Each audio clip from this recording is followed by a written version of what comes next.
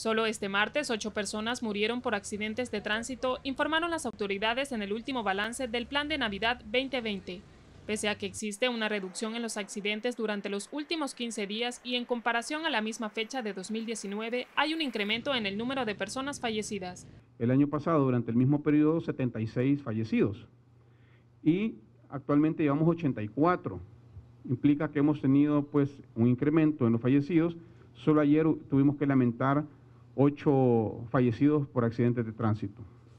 Hubieron dos personas que murieron, pues, eh, lamentablemente atropelladas, una persona que falleció porque le dio un infarto antes de tener el accidente, y el resto pues han fallecido obviamente por los accidentes en el exceso de velocidad que se ha mantenido. En cuanto al total de lesionados, el último reporte registra casi 480, de los que 35 corresponden solo al 29 de diciembre.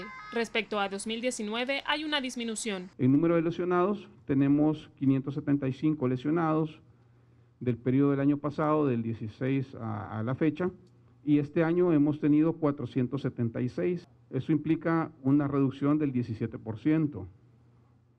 Solamente el año pasado tuvimos 47 lesionados por accidentes de tránsito en el día de ayer hacia hoy y del día de ayer hacia hoy del 2020 hemos tenido 35. De acuerdo con las autoridades, las principales causas de los percances son la excesiva velocidad, distracción al volante y ebriedad. Los altos eh, índices que se están viendo de fatalidades este año, comparado en el mismo periodo del año anterior, eh, nos tiene preocupados.